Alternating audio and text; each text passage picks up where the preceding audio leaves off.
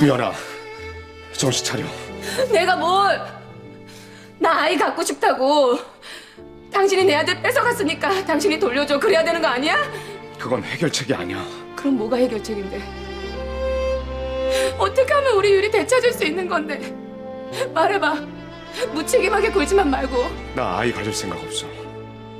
유리, 가슴에 묻어. 다른 방법 없어. 왜? 왜 가질 생각 없는데? 아버님도 낳으라고 하셨어. 이혼도 했잖아. 근데 뭐가 문제인데? 그 여자 때문이야? 그래. 그 여자 못 잊었어. 이런 나하고 애를 만들겠다면 당신 자신도 혐오스러울 거야. 아닌가? 당신 자존심 강한 여자잖아.